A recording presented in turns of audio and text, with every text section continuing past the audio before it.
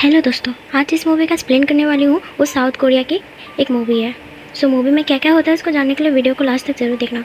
Movie शुरू होते ही हमें एक शिप दिखाई देता है जो कि हांगकांग से साउथ कोरिया जा रही थी जिसमें बहुत सारे लोग थे। चार पाँच घंटे बाद उस शिप में दो आर्मी आते हैं और देखते हैं उस शिप में जितने भी इंसान थे सब मर गए और उनके ऊपर रेड रेड रैशेज आ चुके थे।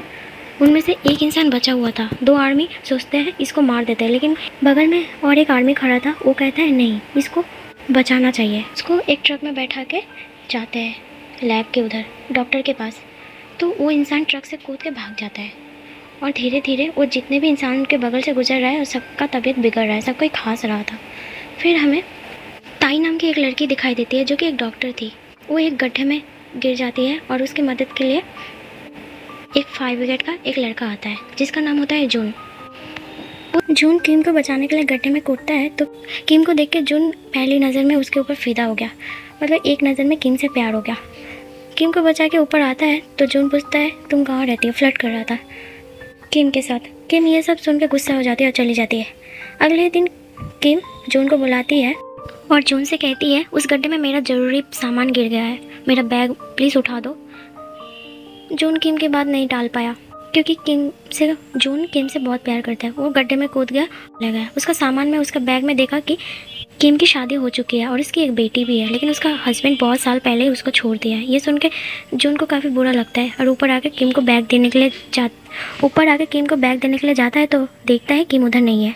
वो सोचता है उसके बेटी के स्कूल में जाऊँगा कल और किम का बैग उसकी बेटी को दे दूँगा। अगली सुबह, जून, उसकी बेटी के स्कूल में जाता है। तो पता चलता है उसके बेटी का नाम है ताई। दोनों एक दूसरे से बातें करते हैं, अच्छे से घुल मिल जाता है, दोनों दोनों में अच्छी खासी दोस्ती हो जाता है। फिर ताई घर लौट रही थी तो उसको वही ट्रक से भाग गया था, वो इंसान मिलता है। वो काफ़ी बीमार था। ताई को बुरा लगता है, वो उस इंसान को कुछ खाने के लिए दे देता है। वो इंसान बहुत जल्दी जल्दी खा रहा था। ताई उसके पास जाती है, वो इंसान भाग जाता है, बोले, मेरे पास मत आओ, तुम नहीं बचोगे। तो धीरे धीरे पूरी सिटी में सब लोग बीमार पड़ रहे थे। रेड रेड रैशेज आ रहे थे। सब कोई खून की उल्टियाँ कर रहे थे चौबीस घंटे में बहुत कोई मर गया था। इससे किम बहुत परेशान हो जाती है और बाकी डॉक्टर्स भी। तो प्रेसिडेंट जो साउथ कोरिया का प्रेसिडेंट है, वो सोचते हैं शहर में लॉकडाउन लगाने के लिए। वो लोग लॉकडाउन कर देते हैं, सब मॉल दुकान सब बंद हो जाता है। सारे लोगों को आर्मी लोग पकड़ पकड़ के एक कैंप में एक साथ रख रहे थे। डॉक्टर ने मना किया था कि एक साथ मत रहो। जो लोग ठीक है, वो लोग भी बीमार हो बीमार हो जाएँगे। लेकिन प्रेसिडेंट उनका बात नहीं सुनता है, क्योंकि प्रेसिडेंट को भी प्रेशर आ रहा था यूएसए से यूके यूएसए यूके से। उनका प्रेसिडेंट कह रहा था, इधर से कोई इंसान अगर बाहर गया तो हमारा देश में भी हो सकता है। तो प्रेसिडेंट के हाथ में कुछ नहीं था। वो लोग कर रहे थे, लेकिन अगले 24 घंटे में काफ़ी लोगों की मौत हो गई थी। वो लोग जेसीबी की मदद से मुर्द, मरा हुआ इंसान को उठा के एक गड्ढे में फेंक के जला रहा था। ऐसा देख के जून, किम बहुत परेशान हो रहा था। फिर ताई का तबीयत अचानक से बिगड़ने लगा। ये देख के किम बहुत डर गया, क्योंकि वो अपनी बेटी को अपने से दूर नहीं करना चाहती है। इसलिए वो अपनी बेटी को अपने पास छुपा के रखती है और कहती है, तुम तुम खांसना मत, किसी को कुछ मत बोलना। मैं तुम्हारे लिए कुछ करती हूँ। लेकिन आर्मी वालों को पता चल रहा था, वो उसकी बेटी को छीन के ले जा रहे थे। लेकिन जून आके जून आके ताई को उधर से ले जाता है। फिर किम को कुछ डॉक्टर अपने साथ रिसर्च सेंटर ले जाते हैं, जहाँ पर वो ट्रक से भाग गया था वो इंसान पकड़ा गया था और उसका टेस्ट करने लगे। फिर किम को पता चला उसका ब्लड से ही सीरप बना सकते हैं, क्योंकि उसको बीमारी हुआ था, वो फिर से ठीक भी हो गया था। मतलब एंटीडोट उसके खून में है, उसका खून से ही हम लोग सिरप बना सकते हैं और सबको बचा सकते हैं। तो उसका ब्लड से ही कुछ वैक्सीन बना ली है और उसमें से किम एक वैक्सीन चुरा लेती है, अपनी बेटी को लगा लेती है। लेकिन आर्मी वाले कुछ डॉक्टर उसको देख लेते हैं और उसके ऊपर हमला करते हैं। वैक्सीन की वजह से ताई बेहोश हो जाती है आर्मी वाले सोचते हैं ये मर गया तो उसको फेंक देते हैं बाकी लाश के साथ। जून आता है, देखता है ताई नहीं है, वो किम से पूछती है, ताई कहाँ है? तो बोले, वो लोग ले गया प्लीज़ मेरी बेटी को बचा लो।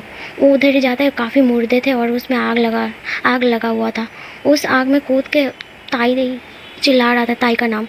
तो उसको अचानक से एक बच्ची पर नज़र पड़ी, वो ताई थी। और उसको पता चला, ताई अभी ज़िंदा है। वो उसको लेके बाहर आ रहा था तो आर्मी लोग उसके ऊपर फायर करने लगे। लेकिन जून उधर से जैसे तैसे बच के भाग गया। फिर जिसके ब्लड से सिर वैक्सीन बन रहा था, वो इंसान भी मर गया। तो ताई अभी ठीक हो गई। उसको भी बीमारी हुआ था, वो अभी ठीक हो गई। वो प्रेसिडेंट से वीडियो कॉल पर बात करते हुए, मेरी बेटी को भी हुआ था इन्फेक्शन वो अभी ठीक हो गई इसका मतलब उसका ब्लड से हम लोग अभी भी वैक्सीन बना सकते हैं। मेरी बेटी को छोड़ दो, आप लोग उसको सेफ़ जगह ले चलो। ले जाओ। लेकिन उसका प्रेसिडेंट उसके बात पर बिलीव नहीं करते हैं। और आर्मीज़ को कह देते हैं, सबको मार दो। अमेरिका प्रेसिडेंट उसके ऊपर दबाव डाल रहे थे।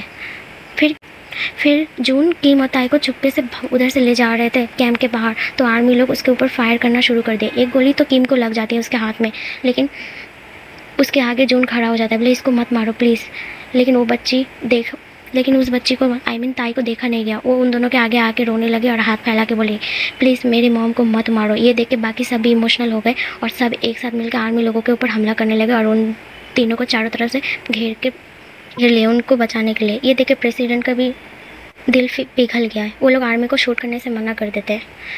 फिर किम को कहते हैं अच्छा ठीक है, तुम्हारी बेटी से वैक्सीन बन सकती है तो बनाओ। फिर वो लोग फिर साइंटिस्ट लोग ताई को लेकर जाते वैक्सीन बनाने के लिए और जून किम को हॉस्पिटल ले जाता है।